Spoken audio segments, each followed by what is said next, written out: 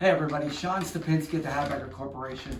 We want to talk to you today a little bit about hard start kits, and they're not always necessarily a hard start kit. Like here they're marked as a compressor saver. We really like the 521 company. A lot of these hard start kits are nothing more than a capacitor or a PTC device, a soft boost, something like that.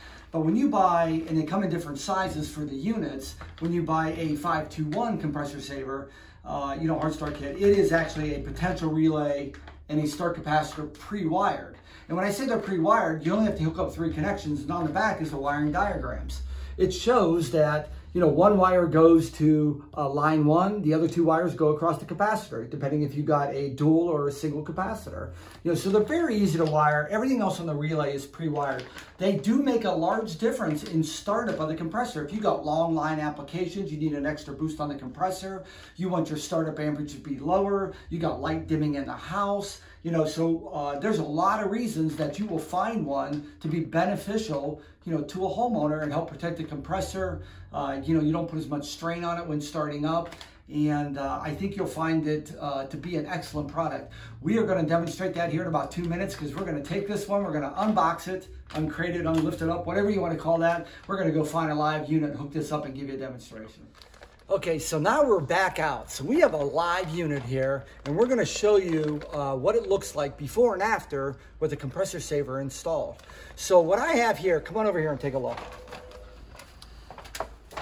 Over here, I put the amp probe, and I use amp probe, but I know this ain't an amp probe.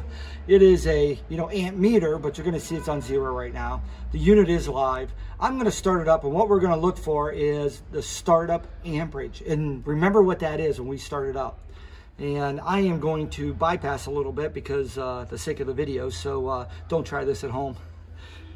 Ready? We're gonna start it up. So you saw the amperage went up to about 23 amps on startup and then drops down to a normal. So that startup amperage is when it gets really high, is when you got a lot of refrigerant to push against, you got a long line application, you got a high separation, uh, could be low ambient, could be uh, transformers on the pole, could be a little bit low voltage, uh, light dimming in the house. All that stuff puts a strain on the compressor on startup. The lower we can make that, the better it's going to be. Now, the next thing we're going to do is I'm going to attach this 521 and we're going to do the same test again to show the difference. So I put the 521 kit in. There's only three connections. So it is the compressor, common, and down here on the load side of the contactor is L1. So I'm gonna do a demonstration. Last time we saw 23 amps on startup. We're gonna see what the new one does. 13 amps.